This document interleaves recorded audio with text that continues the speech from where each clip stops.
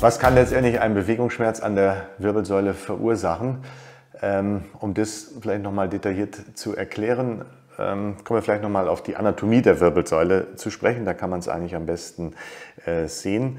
Äh, wir haben ja eine Lendenwirbelsäule mit fünf Lendenwirbel und nehmen wir jetzt mal diesen Bereich hier raus, das ist zwischen dem vierten und dem fünften Wirbel, dann gibt es im Prinzip zwei Strukturen, die für die Beweglichkeit der Wirbelsäule verantwortlich sind. Das ist einmal im vorderen Bereich, also zum Bauchraum hin die Bandscheiben. Und im hinteren Bereich, also auch hinter, dazwischen ist der Wirbelkanal, der Rückenmarkskanal. Im hinteren Bereich von hinten betrachtet die sogenannten Wirbelgelenke oder auch Facettengelenke, die paarweise ähm, hier angeordnet sind. Und die können natürlich auch im normalen Alterungsprozess des Menschen dann wie ein Knie, wie ein Hüftgelenk auch degenerieren, abnutzen. Letztendlich sind schmerzhafte Facettengelenke, Wirbelgelenke natürlich ein Überlastungsproblem. Und deswegen, um da selber was gegen zu tun, ähm, ist natürlich die Entlastung, also Vermeidung von, von Extrembelastungen immer sinnvoll. Das geht schon mit dem Gewicht los, also Gewichtsreduktion ist natürlich gut. Dann ähm, natürlich Bewegung. Bewegung ist für Gelenke immer gut, aber halt gute Bewegung, keine Extrembewegung. Gerade bei den Wirbelgelenken, bei den Facettengelenken ist die sogenannte Reklination, also alles, was ins Hohlkreuz reingeht, ähm, nicht gut, weil da die Gelenke ineinander gestaucht werden. Auf der anderen Seite ist dann Muskelkräftigung wie bei allen Wirbelsäulenleiden immer sinnvoll, ähm, um damit einfach die entsprechend schmerzhaften Partien muskulär zu stabilisieren. Und da ist auch gerade bei, der, bei den Facettengelenken die Bauchmuskulatur sehr wichtig. Ja, wenn man von Rückenschmerzen hat, denkt man natürlich immer an einem Auftrainieren der Rückenmuskulatur. Das ist auch wichtig letztendlich, aber die Bauchmuskulatur ist in dem Falle gerade bei diesem Problem an der Wirbelsäule mindestens genauso wichtig, weil die Bauchmuskulatur, die hier vorne äh, sitzt, letztendlich vor allen Dingen jetzt etwas übertrieben an dem Modell mal gezeigt, ja eine Endlordosierung. Also das ist die Lordose, also das Hohlkreuz, ja. Das ist nicht gut und eine gute Bauchmuskulatur kann über Einfluss auf die Beckenkippung letztendlich das Ganze entlordosieren, das heißt so ein bisschen mehr aus dem Hohlkreuz rausbringen und damit, wie man hier an dem Modell auch vielleicht äh, auch sehen kann, erahnen kann, die Gelenke dann entlasten.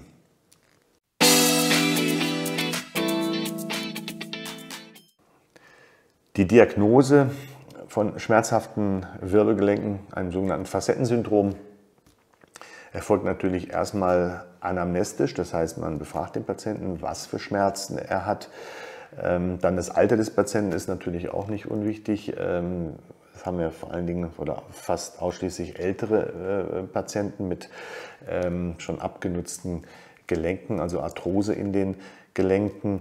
Dann die Schmerzform. Es ist häufig ein sogenannter axialer Rückenschmerz, der schon auch ins Bein, aber meist dann auch nur in die Pobacken oder in den Oberschenkel ausstrahlen kann.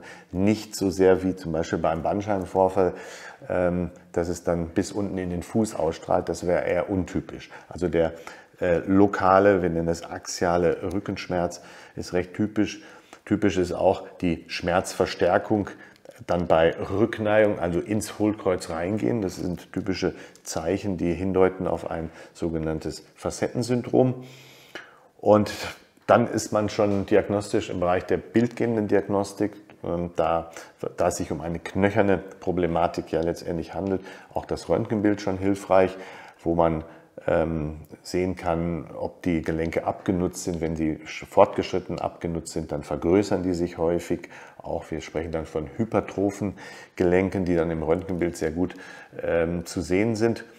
Und dann im Weiteren natürlich die Kernspintomographie, die vor allen Dingen ähm, dazu da ist, natürlich parallele ähm, oder eventuell auch doch andere Schmerzursachen, wie zum Beispiel einen Bandscheibenvorfall oder eine abgenutzte Bandscheibe, die Osteochondrose letztendlich hervorrufen kann.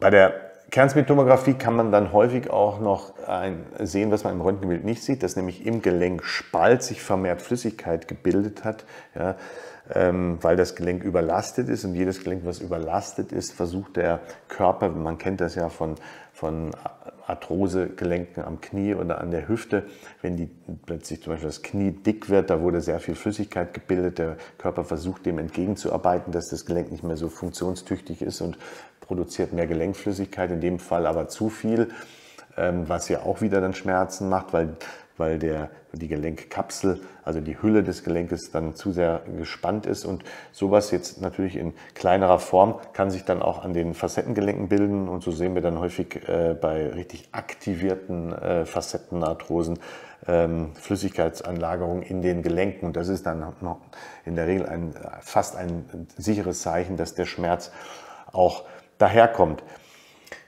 Gerade bei älteren Menschen zeigen sich natürlich viele Veränderungen an der Wirbelsäule und äh, leider machen die auch relativ äh, ähnliche Symptome, sodass man trotz der äh, Befragung des Patienten, trotz der Untersuchung und der bildgebenden Diagnostik manchmal doch nicht zu 100 Prozent sagen kann, wo kommt der Schmerz genau her. Und da ist man dann in dem Bereich oder kommt man dann in den Bereich der sogenannten diagnostischen Infiltrationen. Das heißt, man spritzt die Struktur, in dem Fall das äh, gereizte, entzündete Wirbelgelenk oder abgenutzte Wirbelgelenk unter Röntgenkontrolle an, spritzt etwas Betäubungsmittel, das reicht schon, vielleicht ganz, ganz bisschen Cortison dazu und schaut dann einfach, wie es in den nächsten ein, zwei, drei Tagen dann verläuft. Sollte der Schmerz dann sehr rasch weggehen und der Patient berichtet dann, dass er für ein, zwei Tage, dass es ihm deutlich besser ging, dann kann man oder dann lässt es natürlich darauf zurückschließen, dass der Schmerz auch wirklich daher kommt.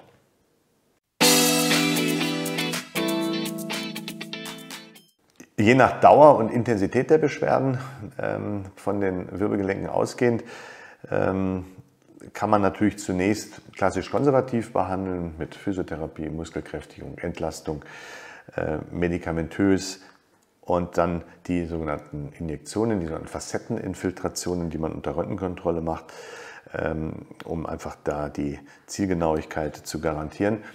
Das kann man natürlich ein paar Mal wiederholen. Ähm, am Anfang, wenn das Gelenk sehr stark entzündet ist, dann bietet sich schon an, da auch etwas Cortison mit beizumischen. Ähm, später kann man da auch Hyaluronsäure, so wie man das an anderen großen Gelenken ja auch macht, im Rahmen der Arthrosebehandlung ähm, anwenden oder auch PRP, plättchenreiches Plasma, ähm, was sich ja auch mittlerweile in der Arthrosebehandlung etabliert hat, anwenden. Aber es zeigen sich dann natürlich Fälle, wenn das chronischer wird, dass diese Einspritzungen zwar gut wirken, aber nur begrenzt äh, anhalten. Das heißt, der Patient kommt nach ein paar Wochen wieder und sagt, er hat wieder dieselben Beschwerden. Und dann macht es natürlich wenig Sinn, alle drei Wochen ähm, zu spritzen. Und da in solchen Fällen bietet sich die sogenannte Thermokoagulation oder Radiofrequenztherapie der Facettengelenke an, ein sehr schonendes ambulantes Verfahren, wo wir die schmerzweiterleitende Nerven in den Gelenkkapseln mit kleinen Wärmeelektronen mit über Nadeln ähm, letztendlich abtöten oder denervieren. Ähm, das hat sonst keine schädigende Auswirkung, auch nicht auf Reflexmechanismus oder Schutzmechanismus. Es geht lediglich darum, die, ähm, die Gelenkkapsel ähm, und damit das Facetten, das entsprechende Gelenk schmerzfrei zu machen.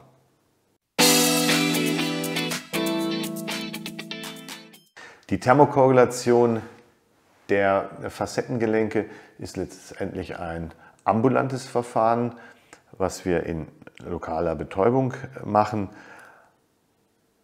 Bei Patienten mit Spritzenangst kann man, kann man es natürlich auch in so einer leichten Dämmerschlafnarkose machen, aber üblicherweise ist es in neun von zehn Fällen gut in lokaler Betäubung möglich.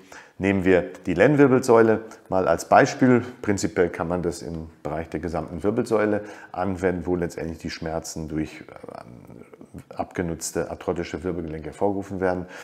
Ähm, das heißt, der Patient liegt in dem Fall auf dem Bauch, Oben drüber kommt ein Röntgengerät, ein sogenannter Ziehbogen. Das Ganze wird wieder unter äh, Bildkontrolle gemacht. Und dann setzen wir eine Betäubung an die Gelenkkapsel. Es werden kleine Seitenäste ähm, der, der großen sogenannten Spinalnerven, die eine Rolle spielen bei Bandscheibenvorfällen, aber hier jetzt nicht. Das sind nur kleine Seitenäste, die praktisch von, ähm, von dort dann in, das, in die Gelenkkapsel einziehen und die laufen immer an bestimmten Stellen, die werden aufgesucht, ähm, dann wird eine Betäubung gemacht und dann werden solche Nadeln dort angeführt, die sind mit Teflon beschichtet, nur die aktive Spitze, die ist äh, in der Regel so ein Zentimeter, ist frei und die wird dann durch die Haut ähm, dann der, durch den betäubten Stichkanal wird das dann mir tangential angelegt und dann kommt praktisch durch diese Nadel, indem man den Mandrin entfernt, dann ein, eine Elektrode, die mit einem Kabel an einem Generator verbunden ist. Und dann kann man zunächst nochmal testen, dass man auch weiß, man ist sicher an der richtigen Stelle. Ähm, das sieht man daran, dass der Patient dann, wenn man äh, eine kurze Spannung anlegt, dort ein leichtes Brennen äh, ähm, verspürt, beziehungsweise man sieht dann ein leichtes Muskelzucken und das ist ein sicheres Zeichen, dass man da an der richtigen Stelle ist. Man sieht den Nerv natürlich nicht im Röntgenbild, deswegen mm, nutzt man nochmal diese doppelten oder diese zusätzlichen ähm, Lokalisationsmöglichkeiten. Und wenn das der Fall ist, dann wird über das Gerät, was automatisch, wie gesagt, ein Temperaturprotokoll abfährt, das äh, Programm gestartet und das geht dann immer über 90 Sekunden und die Spitze wird bis 80 Grad erhitzt. Und das ist vorher betäubt und der Patient spürt da so gut wie gar nichts. Und das macht man dann üblicherweise bei Problemen an der Lendenwirbelsäule über drei Etagen. Meistens sind die Beschwerden ja beidseitig oder zumindest eine Seite ist schlimmer, aber die andere auch. Also sprich, man macht es dann in den meisten Fällen, in 80 Prozent der Fälle, macht man das dann beidseitig. Das ganze Prozedere bei der Behandlung jetzt von drei Etagen und beidseits dauert ungefähr so 45 Minuten. Der Patient bleibt danach noch eine Viertelstunde ungefähr dort liegen und kann dann aber ganz normal wieder nach Hause. Es kann sein, dass es für ein paar Tage halt den lokalen ähm, Schmerz, äh, einen lokalen Reiz verspürt durch die Spritzen, aber alles gut tolerabel. Notfalls ein, ein kleines leichtes Schmerzmedikament kann genommen werden und der Bereich halt für ein paar Tage etwas geschont werden. Ansonsten ähm, braucht, äh, braucht es da keine äh, bestimmten äh, Nachsorgemaßnahmen.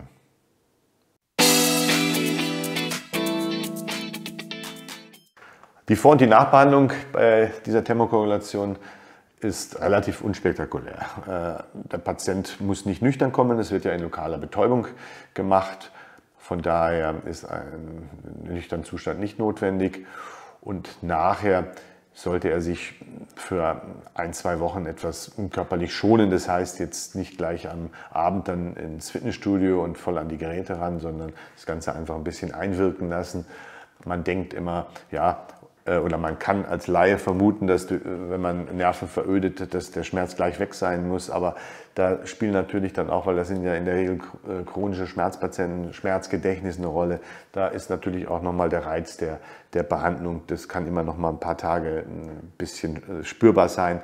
Ähm, Muskeln, Sehnen, alles muss sich ja erstmal einspielen. Das heißt, ähm, den Erfolg äh, der Behandlung kann man in der Regel frühestens nach zwei Wochen absehen.